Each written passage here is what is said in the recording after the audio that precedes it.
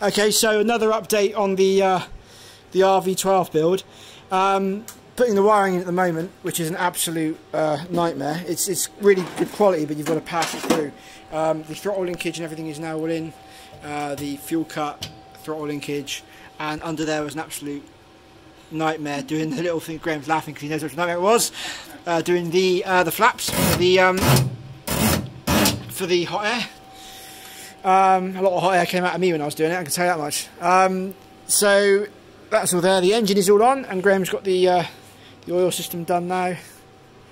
Uh, and he's just working on the the cowling pins. Uh, so the engine is all in position. And what I've got to do is is feed the wiring through uh, the actual bundle. So we've got we've got the top deck, the avionics deck here. So this is all the uh, actually to the back of the Garmin stuff, and then you've got sublooms which run from the control panel down over there, which is going to go in here. You've got uh, obviously stuff to run the flat modes up, stuff for the emergency location transponder which goes in the back, uh, and you've got the wing root cables as well. So they need to be passed through. So all it's a case of doing is basically looking at the overall layout and then step by stepping it through. Um, you've got to do a few connections and changes for different things with the autopilot and stuff like that.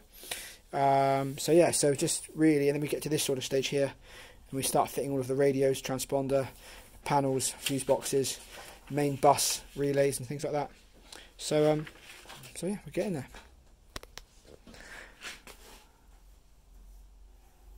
So there's a bit of a rat's nest at the moment, and hopefully, in a couple of hours, we'll have something that looks a bit more like a uh, properly wired up aeroplane.